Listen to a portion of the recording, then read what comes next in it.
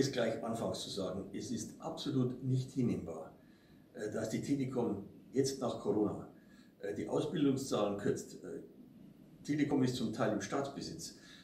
Die Verantwortung dieses Unternehmens besteht also auch gegenüber der Bundesrepublik Deutschland und seinen Bürgern.